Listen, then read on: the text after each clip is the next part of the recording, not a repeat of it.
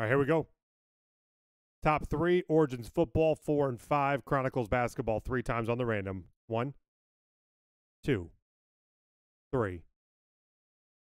So, what is it? Top three is all the same. So, so James, two in each. Sean, one in Origins.